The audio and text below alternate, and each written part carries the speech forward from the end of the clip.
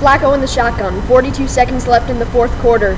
He's avoiding pressure. He throws up a Hail Mary. Jacoby Jones, guarded by Rahim Moore. Oh, and he has it! On the 10, on the 5, touchdown, Baltimore! And that just might send us into overtime. What a throw and what a catch.